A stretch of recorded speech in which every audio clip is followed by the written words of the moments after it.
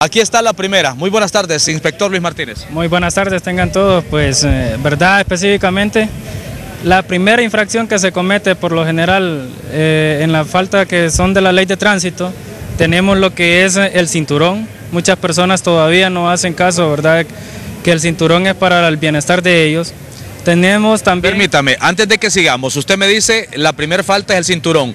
¿Qué cuesta económicamente pagar por si usted me quita a mí en un operativo? Yo no voy con el cinturón, me lo quita. ¿Qué cuesta? Vamos a ir dando las eh, sanciones y qué cuesta.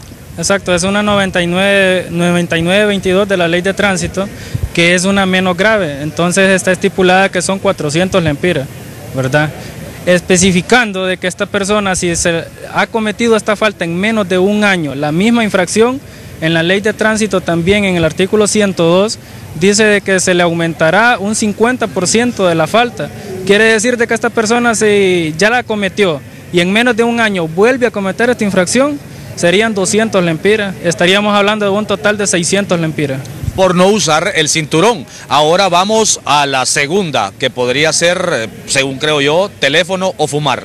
No, este, tenemos lo que son la, eh, el irrespetar las señales de advertencia, como un viraje, un semáforo en rojo, ¿verdad? Esa es la segunda. Y esta es, eh, es una falta grave, ¿verdad? Entonces está estipulada en la ley de tránsito que se, serían 600 lempiras. 600 lempiras. Vamos con la otra que más eh, los hondureños generalmente cometemos la, falta. Es la, el usar el teléfono, ¿verdad? O fumar, o ir comiendo dentro del vehículo, que es una 9824. ¿Cuánto cuesta esta? Son 600 lempiras que este, en la ley está tipificado. Ahora, la que da más terror y principalmente cuando llega el viernes, el sábado, es para aquellos que les gusta levantar el codo. Exactamente, las personas, ¿verdad? Que sean sorprendidos, ¿verdad? Bajo los efectos del alcohol.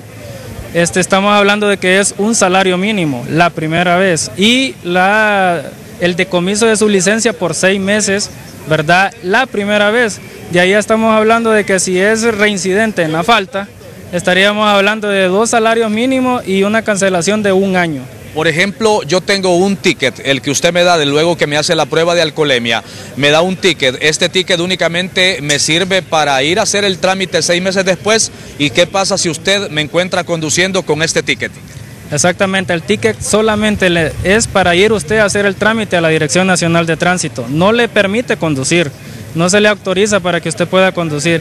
Si yo es eh, verdad sorprendido conduciendo, significa que se, será decomisado su vehículo, ¿verdad? remitido a la Dirección Nacional de Tránsito y la cancelación de su licencia eh, ya como por segunda vez. Unido a esto viene que si usted me decomisa el vehículo tengo que pagar la grúa que son más de 2.000 lempiras creo, más 50 lempiras diarios en Uyuca, en el parqueo. Parezco ya policía de tránsito, Exactamente, ya miro que ha aprendido.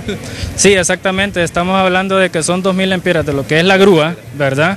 Y este, el estacionamiento, eh, ¿verdad? Que es, es, transportado hasta Uyuca.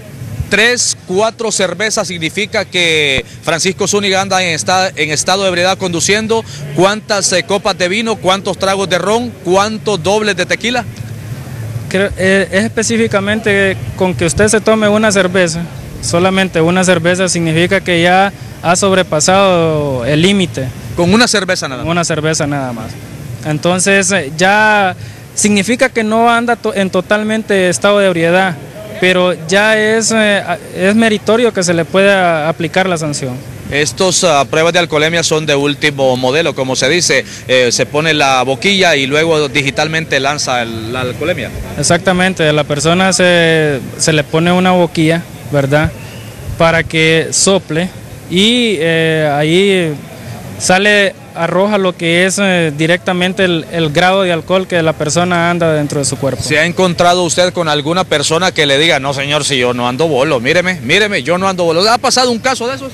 Bueno, creo que todas las noches que se salen a hacer pruebas de alcoholemia, las personas este, andan totalmente en estado de ebriedad y aún incluso dicen ellos que no han tomado. Ajá, y ustedes no los ponen como en Estados Unidos a caminar por una línea amarilla, a hacer el famoso 4. ¿Qué, se le, ¿Qué prueba se le hace a un tipo de persona de estas? Bueno, a las personas, ¿verdad? Que cuando dicen eso, bueno, causa risa, Más que todo, lo único que queda es reírse, ¿verdad? Y bueno, exactamente aplicarles eh, que caminen, que pues eh, uno los pone a soplar, ¿verdad?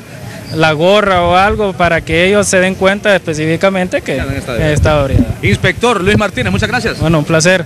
Bueno, ¿verdad? Iker, eh, aquí ya que estamos aquí, también decirle a las personas, ¿verdad? Que piensan salir en lo que es el final de mes, ¿verdad? En lo que es pues las vacaciones que se van a dar por parte del gobierno que ya la Dirección Nacional de Tránsito ya está en el plan operativo para poder brindar seguridad en lo que son los tramos carreteros. ¿Le parece si el lunes hablamos de eso? Exactamente, no hay problema. Gracias, inspector Luis Martínez.